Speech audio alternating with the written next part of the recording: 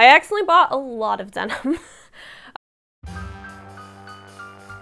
Hello and welcome to my channel Haley Marie Vintage. Today I have part two of my European travel vlog. So the sequence of this one is first we are going to hop into the footage of Rome and then the second half will be my fabric haul from Rome. So if you don't care about the travel bloggy part, I will uh, have like a timer that will put you right into the fabric haul. But first, uh, like I said, we're going through my travel footage. I love Rome. Anybody who knows me knows I absolutely adore Rome and that I would live there if I could. So let's go ahead and jump into that footage. We are starting to hit Rome city limits and I'm so excited. I can't wait to be back in Rome. I absolutely love this city. I love the density. I love the walkability. I love the balconies and the old buildings and the surprises around the corner and I just absolutely cannot wait to be back here.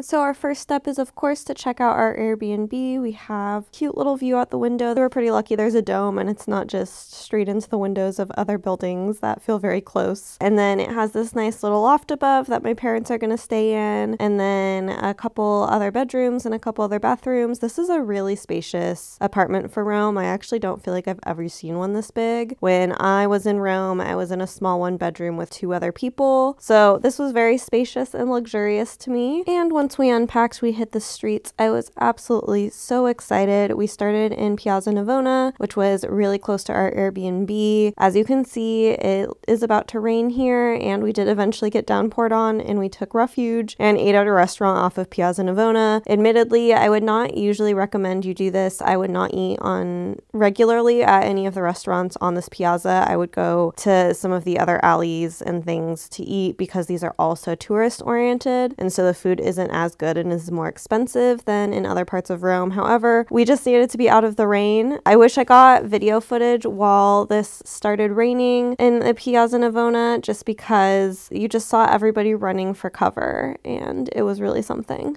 After we ate our meal, after fleeing the rain, we continued on to the Pantheon. I really like the Pantheon. I really like the square. There's a lot of really great gelato shops around here, as well as good restaurants. Very exciting to be back. As you can see, it's pretty busy. There's a lot of people. The line to get into the Pantheon wasn't too bad, so we did go ahead and go in.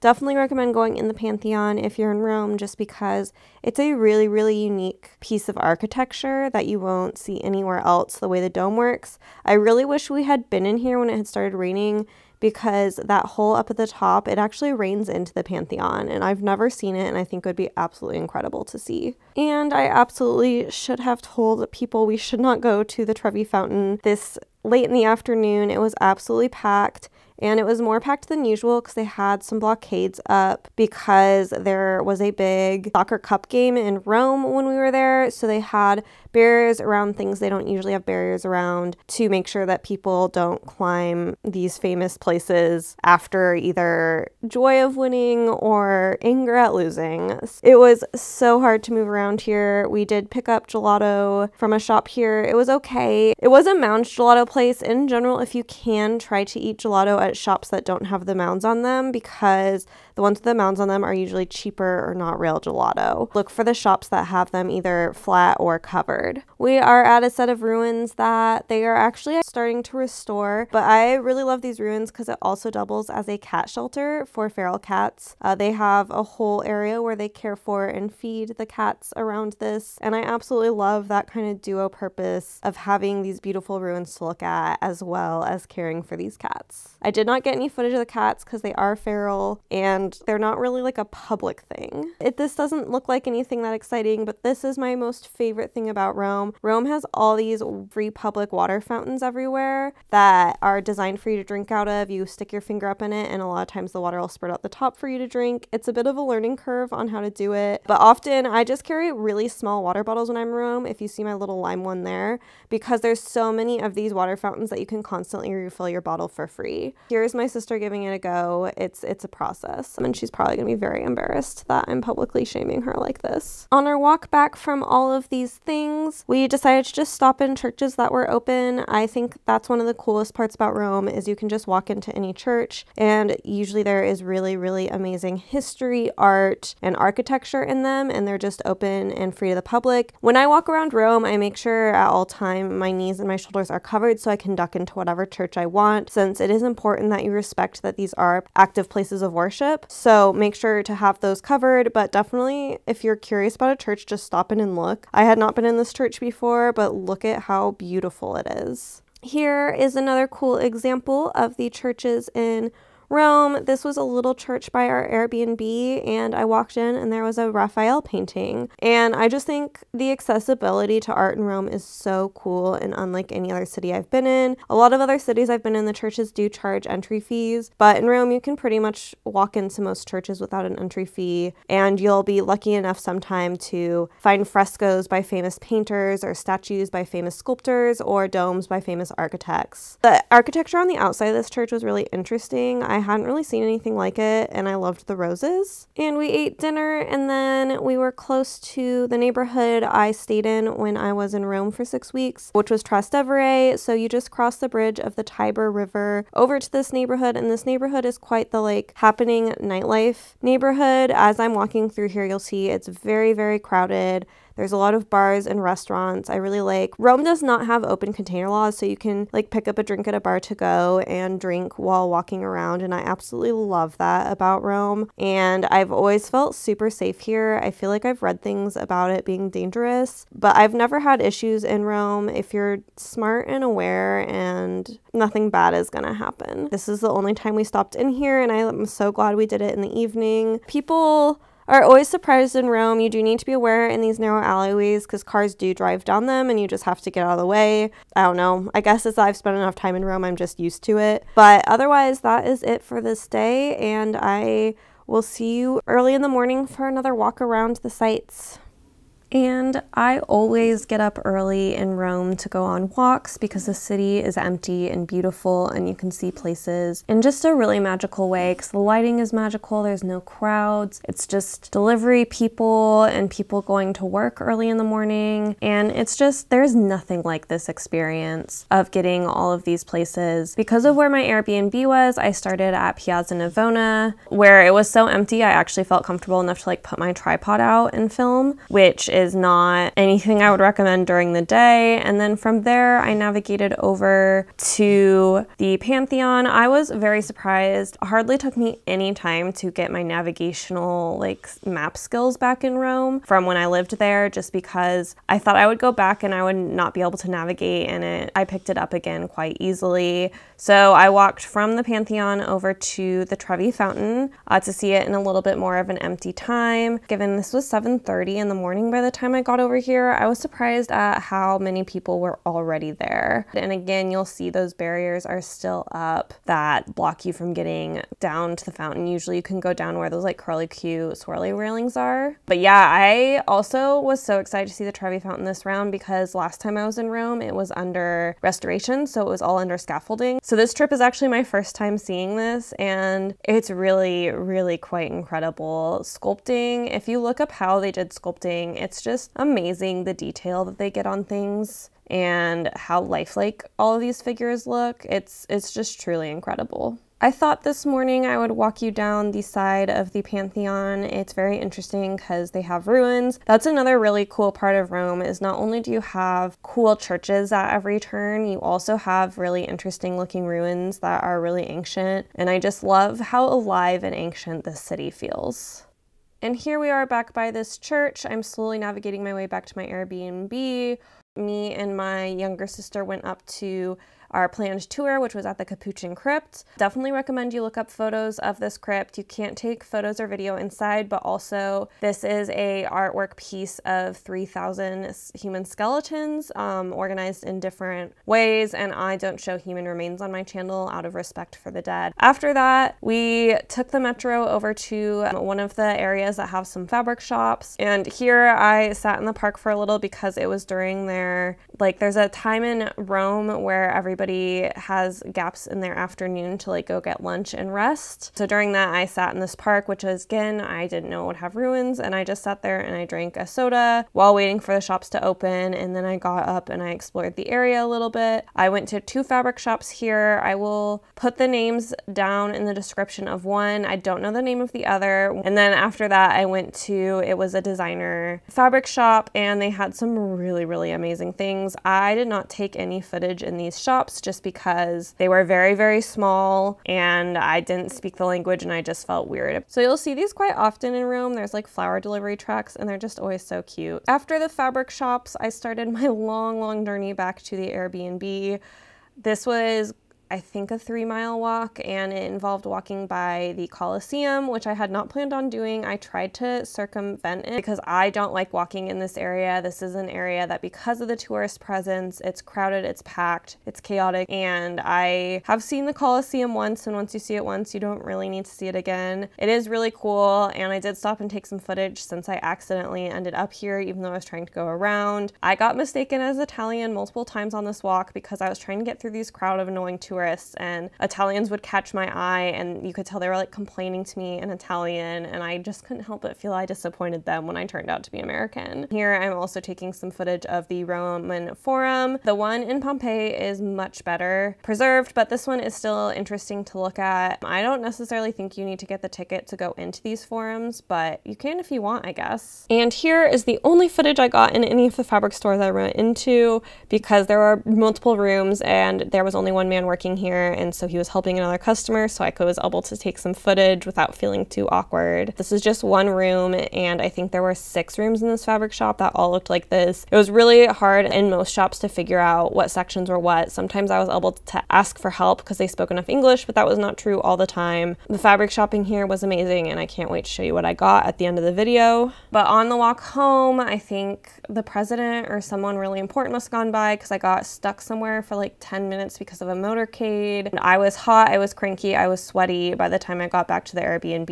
And so that is all the footage I have for today because I was just exhausted. And here we are up very early in the morning, empty streets again. This morning we are going over to the Vatican to do the Vatican Museum as early in the day as possible with a guided tour. So that way it is hopefully a little bit less crowded. I have done the Vatican Museum before. I did not enjoy it because it was so crowded. And so I thought I would see if this was any better better because it's a little bit less in the peak tourist season in Rome and it was earlier in the morning and we went pretty like afternoon prime time when I went with my school. I thought I would give it a shot and this was also nice because it means I walked a little bit of a different route this morning as opposed to kind of the same route. In this case, we went across again the Tiber River over to where Vatican City is. Vatican City is its own nation within Italy, but I enjoyed the walk over this morning and then we met up with our tour group and from there we headed towards the Vatican museums. And we've officially made it into the Vatican. It was still a decently long line and very hot, even though it was pretty early in the day. These are just some footage of the grounds on the Vatican before we went into the official museum. And we are in the museum. All of the statues here are really old and important pieces of art. This museum is interesting because it's pretty open air, and I feel like we're not used to that. American museums are always just very like pristine and closed. Of course, they don't have have their most important works outside, but they do have some of their important works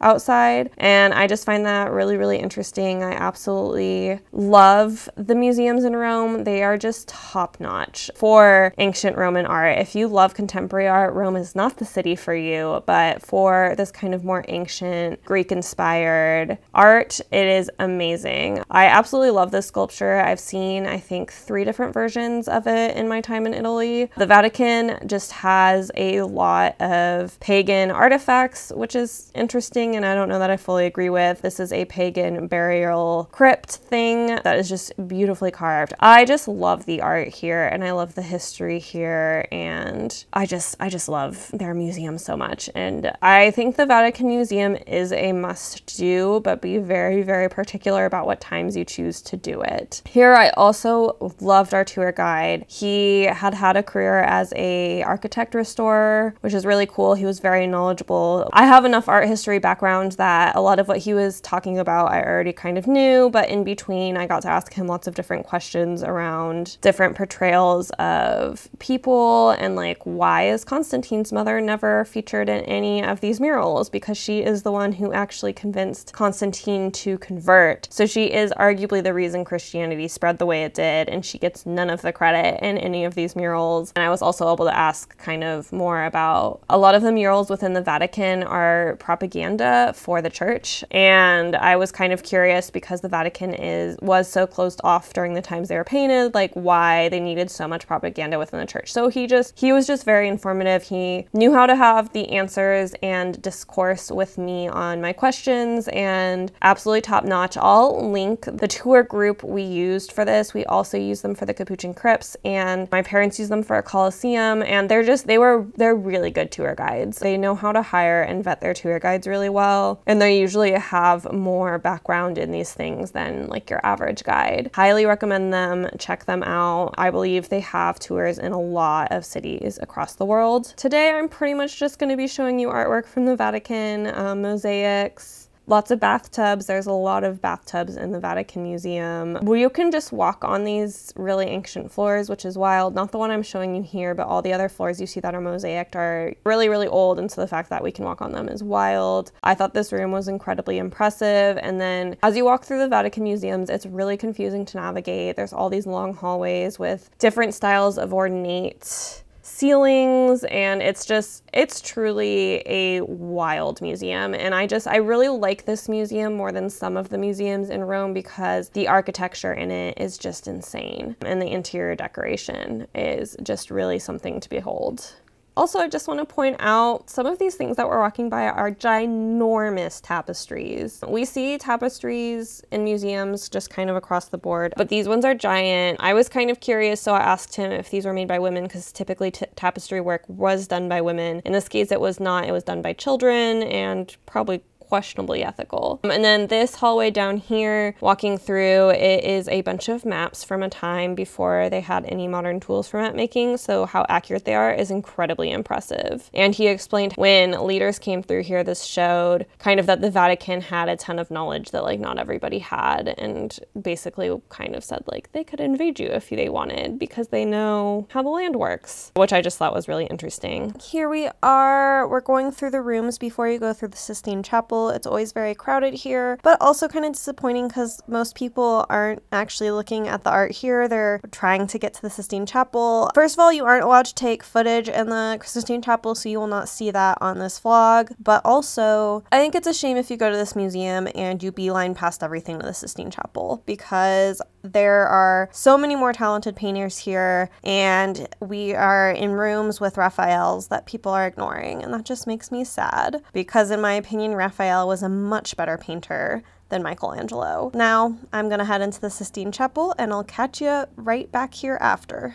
Here we are at the end after the Sistine Chapel. Uh, we still have some art to look at. We will be seeing some Caravaggios and some Raphael paintings. I prefer both of those painters to Michelangelo as previously stated. While we look at these Raphael pieces, I'll kind of talk about why I prefer Raphael. I think Raphael uses much better color and light and it's just much more dramatic. Like for me, Michelangelo's Sistine Chapel, the colors kind of all run into each other because they're all midtones, but there's much more contrast in these. And these are Raphael's paintings from early career, mid career, and late career, and I just think all of them are more spectacular than what Michelangelo does. Which, to be fair, Michelangelo is not a painter mostly. He is mostly known for his sculpture and his architecture. I feel like my art snobbery is really showing here, but I just, I don't prefer Michelangelo, and I also think he was much less humble than Raphael. I think Raphael was much more humble than Michelangelo. So overall, I am a Raphael stan, and this wraps up art hot takes with Haley. I only took footage from the Vatican today, so we are going to end our day here. After the Vatican, we went home and we rested, we grabbed lunch, um, and then I headed out to more fabric shops. And today I am sad. We are walking. It is our last morning in Rome. I could absolutely live here. I think if I could live anywhere in the world and somehow magically learn to speak a language, I have no talent for language, Rome would be the city I'd live in. I adore Rome. Its walkability, its transit systems, the history, the culture, the life, the food. I love Rome. But this is our last morning walk. Today I'm just going to do Piazza Navona and the Pantheon. So here we are walking at about 6 a.m., I believe, because we need to be back by 6.30 for our airport pickup at 7 a.m. So this is the earliest walk I did. So the piazzas are by far the emptiest, and this is the only day I was here where they had taken down those barriers that they had put up for that soccer game. This was just such a beautiful morning, and everything was so empty. And it's, I know it's hard to get up early, but it's so dreamy and beautiful in Rome, so please consider it. I don't think there is anything more magical than if you get up early and you walk around because it's just so utterly peaceful. Uh, my sister came out with me for this one, so I wasn't alone. But I do want to note, like, I feel fine alone in Rome. I get catcalled more in America than I do in Rome.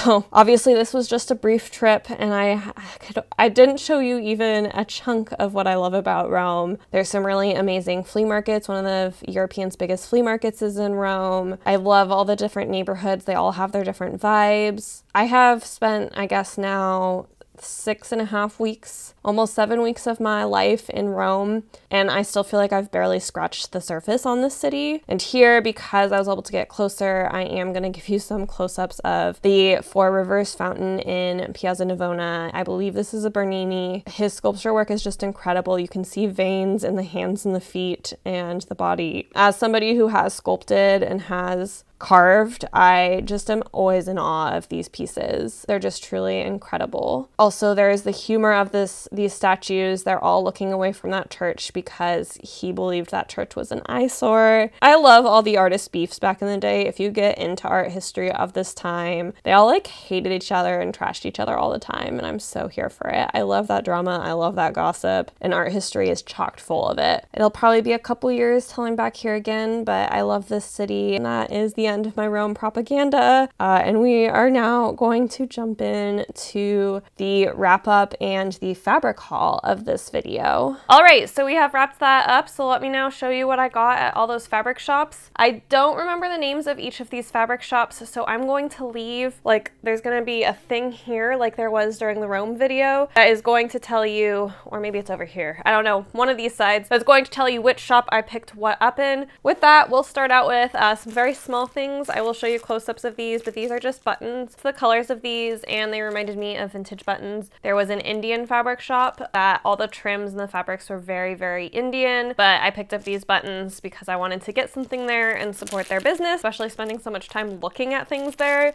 I should have gotten some fringe trim in retrospect, but we all have things we regret. They had a lot of really awesome beaded uh, fringes and trims and stuff. Next up, this is actually I think the last fabric shop I went to. I had a really hard time communicating at this one, which that is fully on me. I've learned my lesson. Next time I go and get fabric in a country that does not speak the same language as me, I'm gonna memorize numbers 1 through 10 because first I got this little bit of fabric. This is a half meter because I was communicating 5 and he thought I meant 0.5, not 5 meter. So I got this little bit bit of fabric. I feel okay about it. I didn't need it anyway. I do wish I had gotten more. This is also 0.5 and this is of a Bemberg rayon, which they were pretty decent price there. I think they were only 9 euro a yard. And so I would have liked to have gotten more of this since I will use it as a lining. Again, this is all on me. This is not on the shop owner. The shop owners are not expected to understand English because it's mostly local craftsmen coming to them and I'm in a different country. So I should have tried more and in the future I will memorize those numbers. I thought I had them memorized, but then he was saying something that sounded like five, but wasn't five. And so he was saying half, and I was motioning five. So it was an easy miscommunication. Then I had gotten flustered, and so, ooh, I accidentally bought a lot of denim. Uh, so I only meant to get three meters of each of these because you don't need that much denim when you're making a denim project. This is a really nice kind of slate gray like denim. I'm going on the mission of making my own jeans because I'm so sick of not fitting into jeans anymore. And I need something that has like a zipper on the side to get my butt in. Like I can fit a pair of jeans on in theory, but the zipper doesn't go down far enough for it to like actually go over my butt. So I got this slate gray. I have five yards of this, so I'll probably have some friends over to help me use it. This one has no stretch, but it's a nice, really light denim that I think will be perfect for like spring and summer and early fall. So yeah, and I really loved this color. I feel like I haven't seen this color of denim too often. So this is another one that I got. I really like the vibrancy of this blue. I think it's absolutely stunning. I got, again, five yards of this. This one has a teeny bit of stretch. And I definitely plan on making a pair of jeans from this. And then I would also like to make, I have a like, it's kind of like a Gunne Sax denim skirt that I absolutely adore, but is honestly too small for me at this point. So I just need to find some trim I love and make it in my current size. So that'll be great. Uh, and yeah, I really love this color. um, next up, I bought a bunch of findings at this shop. First thing I got was this pair of bag handles. I was feeling very inspired after buying my crochet purse over in Santorini and so I bought a thing so I can make my own crochet purse at some point. And I got a bunch of trim. And I ended up with more trim than I planned on because again, Communication was hard. So this is the one I didn't plan on buying. Uh, it's this really pretty red one. I mean, it's gorgeous and I will use it because the red is nice and subtle uh, and it has a lot of blue and green in it. So it will get used. What I was trying to buy was just the blue, but she had cut the red first before I realized what was happening. This one is exactly the same one as the red one, but it's in blue and again, absolutely stunning. I can't wait to use this. It's really soft. Sometimes these trims are a little bit more polyester feeling, which I did get some of those too. I got this really cute cute. It's this really cute teapot and berries. I'll figure out how to use it. Obviously, you know I will never make an all red garment. Now maybe I can pull in the lavender in it or the green or this darker red that's in it. I don't know. We'll see how I use this, but they had so many really fun novelty trims that were definitely for children. but I wanted some. And then I got this trim. This, I think all of these I got seven meters and they were really cheap. All of these were less than two euro a meter. This one here is really cute. It reminds me of Greece. It's little lemons and pictures and it's white and blue. And I just got this so I can make a dress that reminds me of Greece. So that is what I got at that shop. Um, I enjoyed that shop a lot. They had just books and books and books of trims. I had to show a lot of self-restraint there. The next shop I showed almost no restraint. First up is this really really wacky swimsuit fabric. I've gotten into making my own swimsuits and I thought this was so fun and wild and I hadn't really seen anything like it. So I'll be making a swimsuit out of this and it'll be really fun. Actually came back to the shop. I had gone to this shop. I had seen this fabric. I was like, oh, wouldn't that be fun and wacky? And then I'm like, Haley, you don't need that. And then I walked all the way back for it. So I decided I did need it. I also got um, kind of a boring lining fabric from this shop. This is for a project that will be, I think, in August. I had been looking for certain colors that are really hard to tell on monitors. So being in a fabric shop and being able to pick up this was really great. I think this is just a polyester and it's just kind of a, not quite a periwinkle. It's a little bit more lavender than periwinkle, but it's pretty darn close and it's certainly closer than anything I found on the web. And then I also picked up this cotton. Uh, it's these beautiful pears that I absolutely adore and they're kind of watercolory. This is going to replace a dress that I've kept for a really long time because I love the fabric, but it honestly doesn't fit me anymore. And so this is going to replace it. I think this is going to make a really, really sharp and very cute 1950s dress. When I picked it out, a woman helped me grab it. Uh, she was Italian, but she spoke pretty good English. And she was like, oh, is this for a child? And I was like, no, it's for me. But it was nice. We went on to talk about, I was wearing the a dress that I'd made. And she's like, oh, you're really talented. And I was very modest and turned bright red and said, thanks because that's how I roll. I have never run into subscriber out in public, but if I do, warning, I'm very awkward. Next up, I'm very excited about this. I will have to look up the brand. It's a, it says Creation GE WE, this was near all of their Liberty fabrics, so it's of similar quality, but I really liked the softness of the pinks and the blues. I just thought this was absolutely stunning. I'm gonna probably make this into a Gunne Sax like dress with a lot of lace and it's a really, really beautiful light cotton. It was expensive. I believe this one was 38 euros a meter, which is a lot. And next up, I finally found an eyelet I like, but it is absolutely stunning. I'm really picky about eyelet fabric because I think a lot of eyelet fabric ends up looking really, really cheap. I've wanted to make something eyelet with like a beautiful collar underneath that just peeks through or that you can wear a slip that peeks through. I don't know. I don't have a full game plan for that. And I finally found the fabric to do it with. This was also pretty pricey. I believe this was 28 euros a yard. Uh, it's also really soft and like I said, it just, it feels really quality. Which brings me to my last one. So this is a chiffon I picked up. I actually picked this up before the like shiny satiny polyester stuff I showed you earlier for lining. But this is sheer, it's more of a chiffon. It's really, really pretty. I might still use it in that project, TBD. I didn't know what I was gonna come across in the future and while it wasn't exactly the perfect fabric, it was the perfect color. So I went ahead and took a gamble and picked it up. And then this last fabric, I'm so excited to show you. So this is an Elie Saab uh, silk. This is hands down the most expensive fabric I've ever bought. It was 58 euros a yard. Um, but look at this.